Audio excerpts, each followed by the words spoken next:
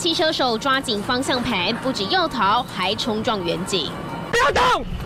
开枪！开枪！开冲撞！冲撞！冲撞！拦截围捕！拦截围捕！警方钻入车阵追，因为从另一个画面看，车手不止直接在塞爆的大马路上倒车，还一路噜噜噜前后冲撞车辆，为自己腾出更多空间。警方调查，集团从事泰达币投资诈骗，已经骗走被害人一千两百万，还想要更多。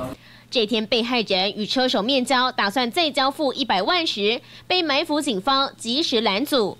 当车手看到远警表明身份时，不止马上开车逃逸，还沿路冲撞。警方见状，拔枪连轰两枪，瞄准轮胎，但仍让人车给跑了。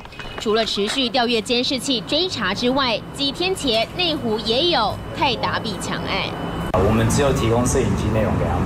我听到就是说，就是就是人被什么掳走什么，但详细是什么原因我们就不晓得。虚拟货币行另一名受害的是币商顾问，同时也是中介。画面中，他走上买家车辆之后，经历漫长一夜。原本币商顾问和买家约好要交易两万颗市价七十万的泰达币，却不止被设局，还被掳走。对方将他从内湖再到新北山区，最后还是币商顾问徒步求救，才走到派出所完成报案。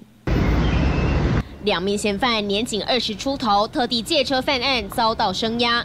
不过，检警怀疑以他们的年纪还有背景，恐怕是背后还有主谋在操刀。已经持续向上追查，要抓出抢七十万泰达币幕后真凶。东森新闻蔡景龙、洪生晴台北报道。